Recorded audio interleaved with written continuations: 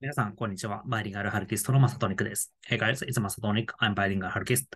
村上春樹ブックガイド短編編64、アシカ祭り。ということで、この動画ではですね、アシカ祭りというお話を紹介していきたいと思います。アシカ祭り、一体どんな祭りなのか、とても面白い作品になっているので、見ていっていただければなと思います。それでは早速参りましょう。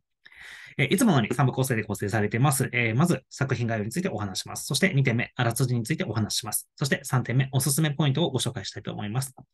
まず、作品概要です。この作品、アシカ祭りですが、トリフルという雑誌に1980年3月号にが初出となっています。そしてその後、こちら、短編集、カンガルー日和に収録されています。で、一言で特徴を言うと、喋る動物シリーズということで、村上さんの作品にはですね、よくあの喋る動物が出てきます。カエルくんであったりですとか、まあ、あの不思議な生き物、羊男は果たして喋る動物でいるかどうかは謎ですけども、いろいろ喋る動物出てくるんですが、この作品にも喋る動物、その名の通りアシカが出てきます。そんな作品です。どんなお話なのかということで、あらすじを見ていきます。まずですね、えー、語り手である僕のところにアシカがピンポンと唐突にやってきます。この冒頭のところから結構、なんて言うんでしょう、独特の世界観で面白いんですが、最初の一行がこんな感じです。アシカがやってきたのは午後1時だった。という一文から始まります。いいですね。我が輩は猫である。名前はまだない的な、なんかそんな始まり方でとても素敵です。そしてこんな風に続きます。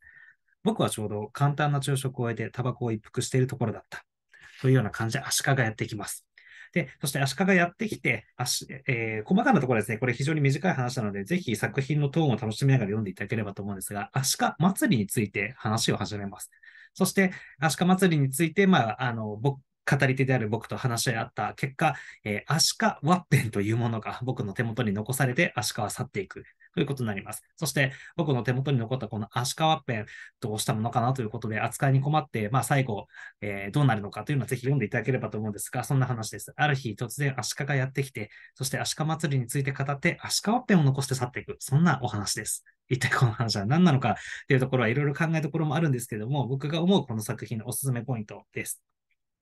まあ、なんと言ってもですね、アシカ的な村上ワールドを堪能するということに尽きるんではないのかなというふうに思います。まあ、いろいろね、もちろん考えようによっては、アシカとは何の象徴なのかとか、何の、アシカは何のメタファーなのかとか、アシカ祭りとは何なのかみたいなことも楽しめるんですが、まあ、まあ、楽しめるとか考えてもいいと思うんですけども、なんと言ってもこの不条理というか、シュールレア、リスティックというか、この不思議な世界観をひたすらに楽しむのがいいんじゃないかなという感じで僕は読んでいます。すごいね、途中挿絵とかもあったりしてね、足利は出てこないんですけど、挿絵もなんかこんな感じ、ちょっと素敵に出てくる、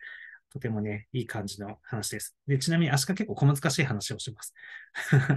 小難しい話をするんですが、なんか割とずずしい性格もあってっていうところで、なんかその語り手である、村上さんらしき語り手である僕とアシカとの会話っていうのがとても楽しめる、そんな作品になっています。めっちゃ短い話なんでサクッと読めるかと思いますが、気になった方はぜひ読んでみていただければなと思います。どんな話だったか覚えてない、読んだことがある方でも覚えていらっしゃるという方結構少ないんじゃないかなと思うので、ぜひぜひこれをきっかけに読んでみていただけたら嬉しいなと思います。はい。というわけで今日はアシカ祭りをご紹介させていただきました。えー、また次の動画でお会いできたらなと思います。えー、それではまた。Till then, see you, bye!